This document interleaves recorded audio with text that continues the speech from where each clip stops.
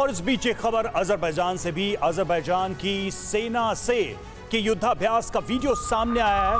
War exercise का ये video सामने आया। अपनी सेना की ताकत बढ़ाने में लगा अजरबैजान। अजरबैजान की सेना लगी इंटरनेशनल ई फेस्ट 2022 में हिस्सा और ई फेस्ट 2022 जून में टर्की में आयोजित किया जाएगा। कई देशों की सेनाएँ इसमें हिस्सा लेंगी।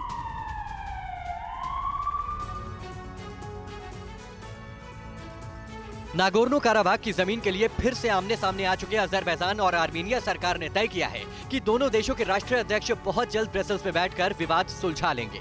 लेकिन मैदान में कुछ और ही चल रहा है। मैदान में अजरबैजान की सेना पसीना बहा रही है। आर्मेनिया पर ताज़ा हमला करने के फ़ौरन बाद अजरबैजान आर्मीनिया को खुली चुनौती दे रहा है। अपनी सेना की ताकत बढ़ा रहा है। दरअसल अजरबैजान की सेना जून में तुर्की में ई एफ़ 2022 युद्धाभ्यास में हिस्सा लेने जा रही है।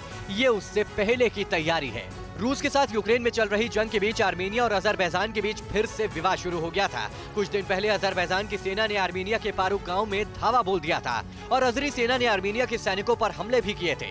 नागोर्नो काराबाग की ज़मीन पर कब्जा करने के लिए पंद्रह महीने पहले अजरबैजान और आर्मेनिया के बीच करीब सैंतीस दिन तक जंग चली थी।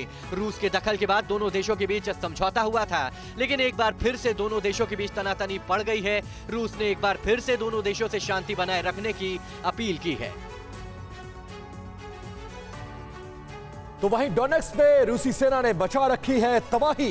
रूसी टैंक्स बीएमपी टू ने डोनेक्स में सब कुछ तबाह कर दिया है।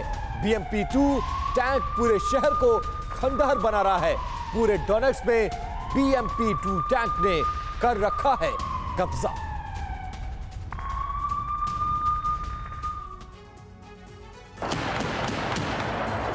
ये तबाही रूस उस डोनेस में मचा रहा है जहाँ उसके अपने लोग पिछले कई साल से विद्रोह का झंडा बुलंद कर रहे थे। यहाँ मौजूद रूसी लड़ाके यूक्रेन के खिलाफ आवाज़ बुलंद कर रहे थे, लेकिन हैरानी इस बात की है कि रूस अपने इन लड़ाकों के बल पर भी डोनेस पर कब्जा नहीं कर पा रहा है।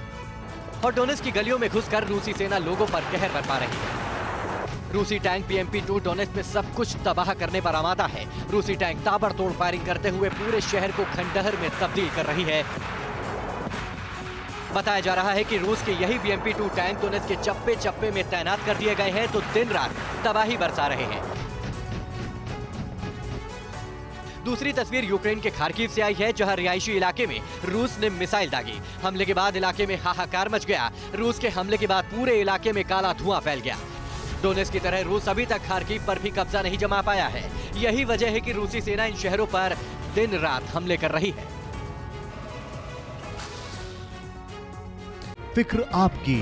सोमवार से शुक्रवार रात नौ बजे सिर्फ़ टीवी नाइन भारत वर्ष पर।